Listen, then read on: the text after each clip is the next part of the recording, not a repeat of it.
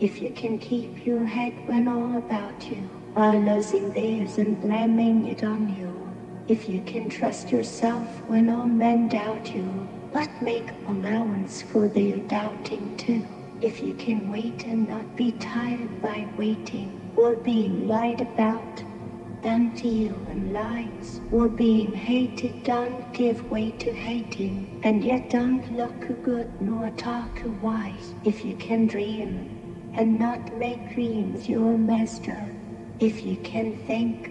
and not make thoughts your aim, if you can meet with triumph and disaster and treat those two impostors just the same, if you can bear to hear the truth you've spoken, listed by knaves to make a trap for fools, or watch the things you gave your life to broken, and stoop and build them up with worn out tools. If you can make one heap of all your winnings and risk it on one turn of pitch and toss and lows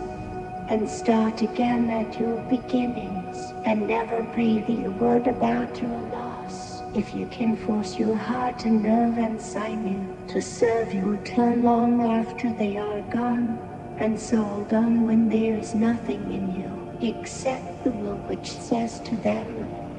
Hold on if you can talk with crowds and keep your virtue or walk with kings, nor less the common touch. If neither foes nor loving friends can hurt you, if all men count with you,